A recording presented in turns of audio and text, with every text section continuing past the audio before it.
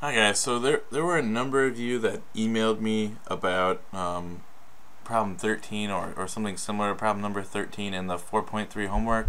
So um, I thought it would be worthwhile just to go over this um, really quick, right, to make sure that um, you, you know um, know what to do for this, right? So I think what you guys were having the most trouble with was filling in finding the equation, right? So here, here's the equation.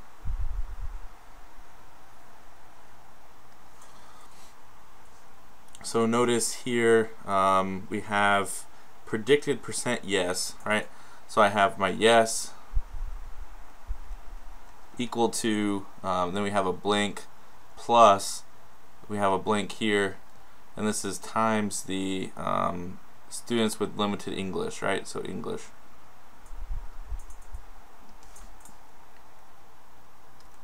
Oops. Let me write that a little better. All right, so this was English. Right, and this, um, just to be clear, this was yes, right? There was right? So in other words, this is in the form y equals b plus mx, right? Where whatever goes in this blank, this is this is my y-intercept, right? Whatever's in this blank is my slope, right? And this is my what I'm losing as my x variable, and then here is my y, right? So you should know this equation very very well, right? Um, you know, slope-intercept of a line, right? Um, you know, usually we have mx plus b, but this is the same thing, right? means the same thing. So the important part is that when, when I put this into my calculator, I want um, the percent of students who, who have limited English, I want that to be my x, right? So most of the time we use L, L1 to be um, x and L2 to be y, right? So here we want to put my x's here and my y's here, right? You don't have to, but um, that that'll probably make it easier for you, right? So, well, I think what was confusing to you is when when you're given the data, notice these are just flip-flopped from what we're typically maybe used to, right? And that's okay, right? Our data isn't always going to be given to us in the exact order that we want it, right? So this this is my x over here, right? And this is my y. So when we when we do this in, the calculator, right, you, you don't have to, but you might want to put this into L1, right? Oops.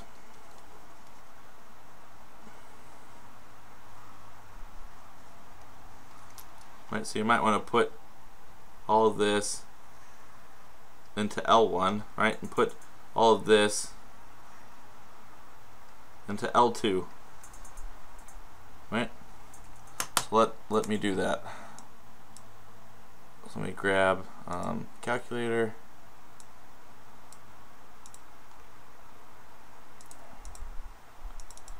Alright, so we'll go into stat and then um, go into edit my list. Um, and we need to clear these. So we can hit clear and down, that'll clear it.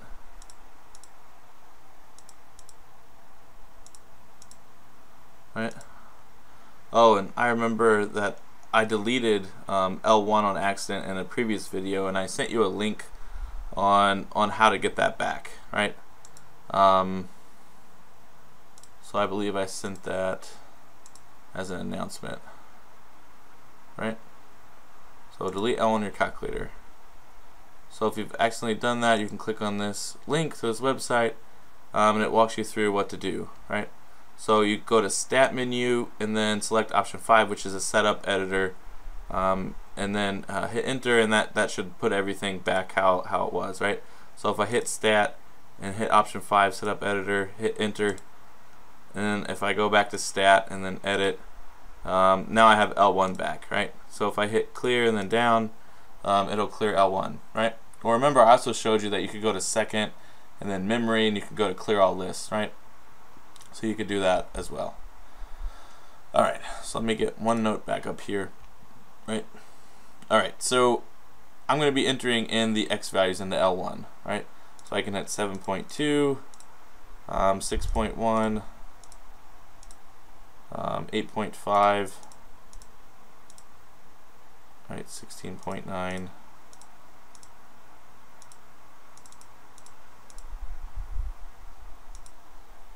Forty-three point seven. 6.9, 16.5.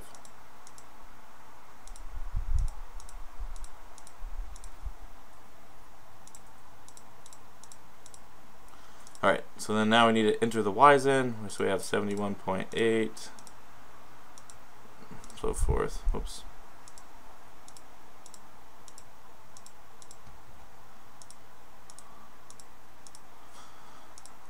So you might might be ahead, ahead of me entering these in, right? So doing this with an emulator on, on screen takes a little little more time because I can only use one hand. Um,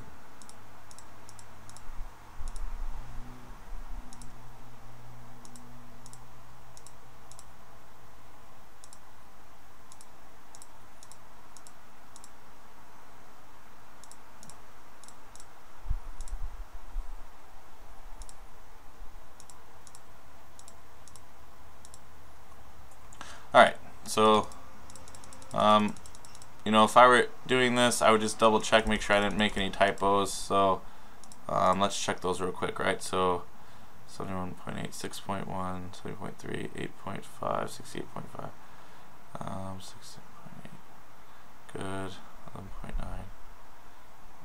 43, 7, 61.3, 69. Alright, so one, those look good, 1 through 7. Let me check the last three. 16.5, 36.3, 48.3, 40.3. Yep, so those look good, right? Doesn't look like I made any typos, right? So I'd always double check that just to be sure. Um, so then now I'm going to go to second quit, and then um, I'm just going to hit clear just to have a fresh screen, and then hit stat, and then go to calc, right? And you can actually use option 4 or option 8, right? I also posted an article about this it makes no difference, right? The only difference is if you remember, you know, you're thinking constantly about the equation y equals mx plus b, right? So the coefficient for x is your slope. So in option 4, my slope is a, where in option 8, my slope is the variable b, right? Um, so that's the only difference. My variables are swapped in, in and they're in a different um, order, right? So it makes no difference. But since the question does ask it to be in this form, this is option 8, right? So it just puts the numbers in, in the order, right, that you're going to type them in anyway, right? So it's really convenience. We don't really need option 4 and option 8. It's more of a convenience, right? So if I hit option 8, and then now it's asking me, oh, what do you want to use for your x values? Well, I, I put that in list 1, right? So I need to hit second L1, and then hit enter. And then um, my y values were in list 2 so second L2 enter. So we got that down and then go down to calculate and hit calculate. And there's my regression line right? So here's my intercept here's my slope right? Um, and it's telling reminding me of the form right where b is the slope. Um, and there there's my r and r squared right? So th those those are all important right So we went, went over those at length, right? So to fill this in, right, we went around to two decimal places. So we would put, um, what, 68.29, right, as the answer there. And then here we had negative 0 um, 0.39. Right? So that's that. Um, and then here it says interpret the sign of the slope clearly, right? So it's so remember slope is change in y over change in x, right? Where y in this case is the percent of yes and the percent of x is the limited with the English, right? So we need to put this in context. So it says for every additional percent of students who have limited English on average, the percent of voters who voted yes goes up by, right? Um, so we actually want um, um, goes down, right? So, but but what what is changing, right? My well, my x means for for every change in x, this this is the change in y, right? So we want to so we want to so option A and B are definitely wrong, right? Because it says goes up. This negative means it goes down, right? So I want I want these keywords. Uh, so let's read read these, see which one's right, right? So for every additional percent of students who have limited English, on average, the percent of voters who voted yes, um, this would be option C, right? Good. So then what would go here is just my slope, right? Negative 0.39%. And there's there's your answer, right? So it's e easy as that. Right? So don't let the order, you know, um, frustrate you. Right? Alright, so hopefully this was helpful. Um, if you have questions, please send me an email. Alright, so actually I noticed I made an error here, right? So it, the, the, the error is that, um, notice the keyword says the percent goes down, right? So let me, let me erase this. Let me grab my highlighter. Right? So the keyword here is goes down. So when I say goes down in negative, that's like double negative, right? So we don't want that. So if you use the words go down in a sentence, then you shouldn't have a negative sign in, in that interpretation, right? So we would just enter um, 0.39, right? So that would be, um, it went down by 0.39%. But if we didn't use the term, um, if, if it didn't use the term goes down, right? So for example, maybe it just said um, the percent of voters changed by, then we could do 0.39%, right? All right, so um, that that that is good good now.